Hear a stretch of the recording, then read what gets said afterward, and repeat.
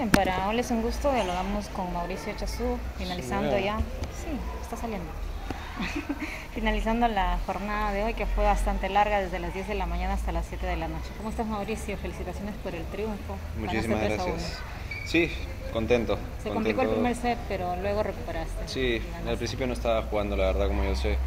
Y felizmente después sí pude, sí pude hacerlo.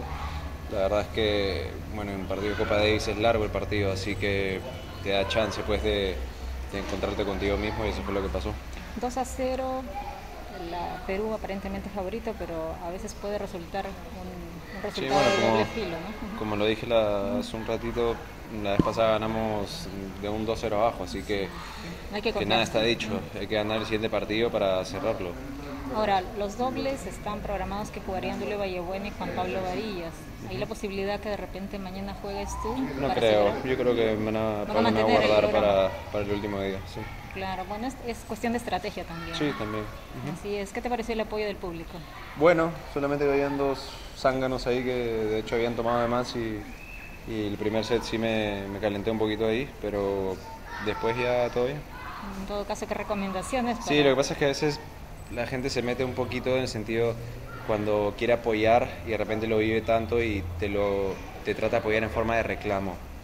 Y eso yo creo que para ningún jugador es, no, no trae nada positivo. Entonces desconcentran. eh, estaba un poquito tenso, entonces me metí un poco ahí. entonces no he debido hacerlo, la verdad. No he debido pensar en eso, pero con la situación y por lo que estaba un poco tenso y estaba ahí apretado, sí me, me sacó un poco. ¿Qué opinas del primer partido de Pues Fanta? felicitaciones a Brian que sacó ese partido. La verdad yo la vi negra cuando se estaba en el suelo acalambrado, pero hay veces que, que te acalambras así, que va y viene y, y puedes seguir.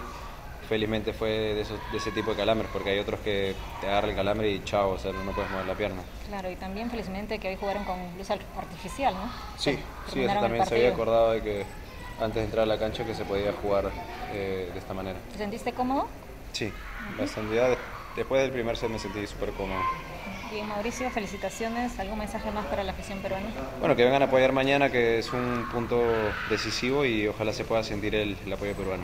Ok, muchas gracias.